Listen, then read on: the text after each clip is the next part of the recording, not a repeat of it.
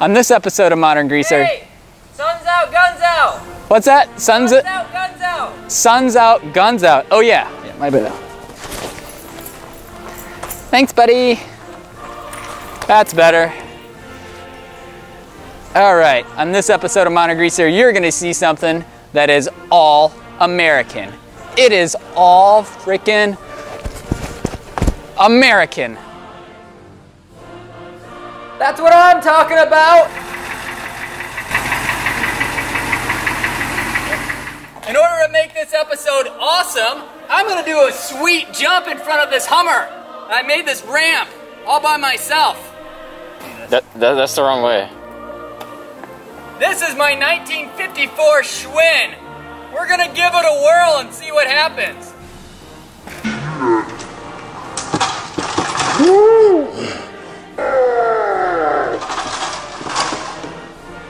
We're not looking at a Hummer. This is a Humvee. And it's about as American as you can get.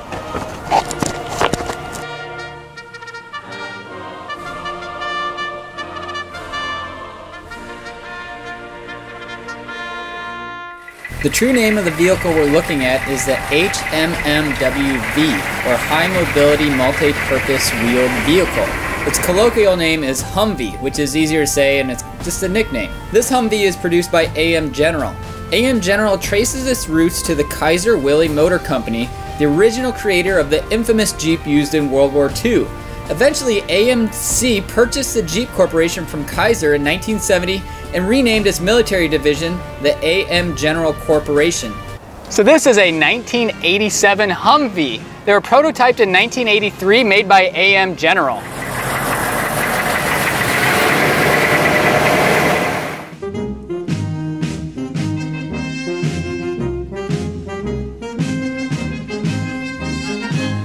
So this Humvee has a turbo 400 transmission and they originally came with a 6.2 diesel but this one has a 6.5 liter swapped into it. Okay, so one thing about this Humvee is that there's particular order that things work on it, and you can't be a dum-dum about it.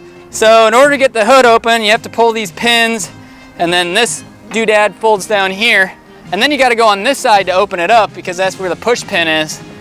I am the Karate! That's fiberglass, but still weighs a good chunk. In 1992, AM General began marketing the Humvees to civilian use under the Hummer brand. In 1999, they finally sold the rights to the Hummer brand to GM. Titling a prior used military Humvee can get extremely complicated and can vary from state to state. Transitioning this vehicle from military to civilian use can be a timely process, but will be well worth it in the end if you have the stamina. So what's great about this Humvee is that where my feet are sitting on the floor is where all the important components of the vehicle stops. Right here next to me in the large hump that you'll see is where all the transfer case and the transmission, the drive shaft and all that wonderful stuff is kept safe and out of the way, the engine and all that. And right underneath where the bottom of the vehicle is, that's where everything stops. And for good reason, because if you're driving over military things, however they do that in very manly ways, then you gotta have that clearance, Clarence.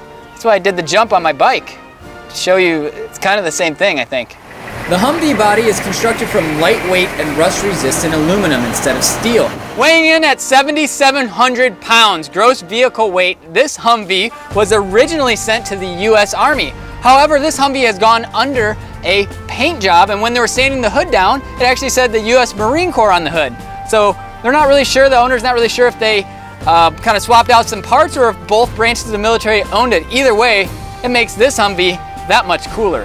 The first military operation the Humvee saw combat in was the Operation of Just Cause with the invasion of Panama in 1989. The HMMWV was designated primarily for personal and light cargo transport behind front lines. Like the Jeep prior, the basic Humvee was not armored and did not protect against small arm fire, let alone machine guns. Later on, Humvees would begin receiving more and more armor as time went on. The HMMWV has become the vehicular backbone of the U.S. forces around the world. Over 10,000 HMMWVs were employed by coalition forces during the Iraq War. So what's really neat is that these military vehicles have all these stealth capabilities. Like if you have to get away from the bad guys?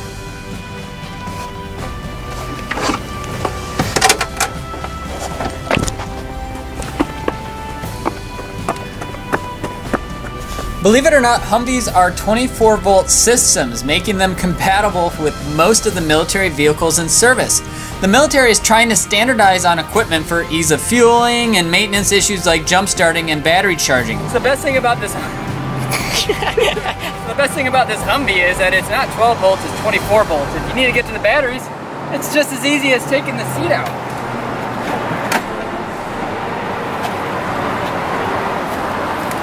I don't even know what to do this thing. One suggested future role for the Humvee is an autonomous unmanned ground vehicle, a UGV. If converted to a UGV, the vehicle could serve as a mobile scout vehicle with armored features removed to enhance mobility and terrain accessibility. Autonomous features would allow the Humvees to drive themselves and one soldier to control a swarm of several vehicles. As you can see, underneath the Humvee, it's all at the same height as the floorboards. This is a drive shaft. Oh, this is an American episode. That is the drive shaft, you see, and it goes here to the brakes on this side, and then the axle shafts come out over here to this end, and then the coil springs and the shocks. And it's a full independent setup. That would be the gas tank over there, the exhaust pipe and the muffler, and blinker fluid goes in over there. The Humvee has a full independent suspension with helical gear reduction hubs, which allows the drivetrain to be a full 16 inches off the ground. The Humvee also has a double wishbone suspension with portal gear hubs and inboard disc brakes. Humvees are well suited for air mobile operations as they can be transported by C-130s and are droppable by parachute or can be sling loaded by helicopters. There are many armored and specialized variations of the Humvee. Variations can range from air defense missiles, ambulances, ones with gun turrets. If you can think it up, the military has probably already specialized it.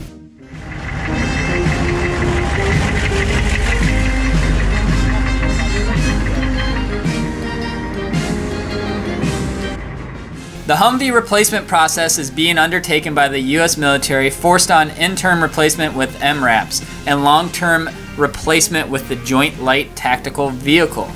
The HMMWV has evolved several times since its introduction and was used in tactical roles for which it was never originally intended.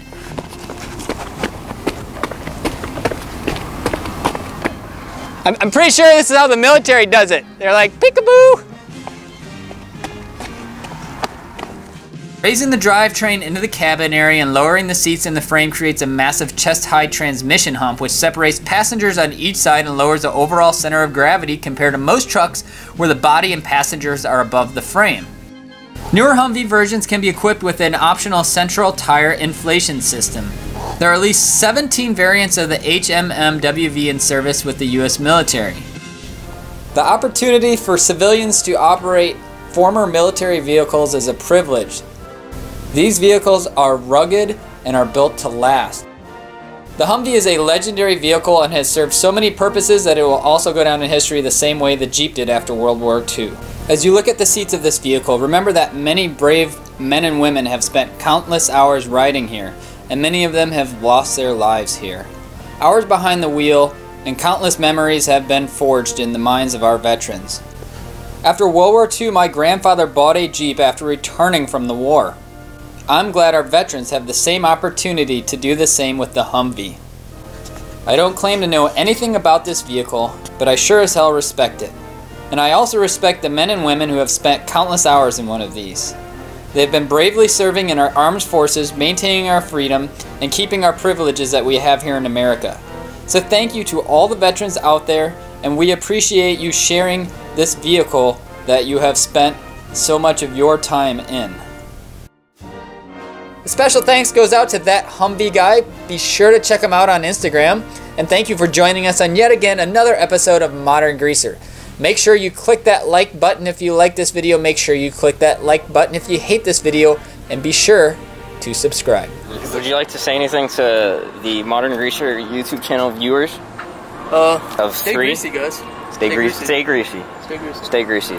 Stay greasy. see, and it goes here to the brakes on this side, and then the axle shafts come out. Pipe and the muffler. Linker fluid goes in over there.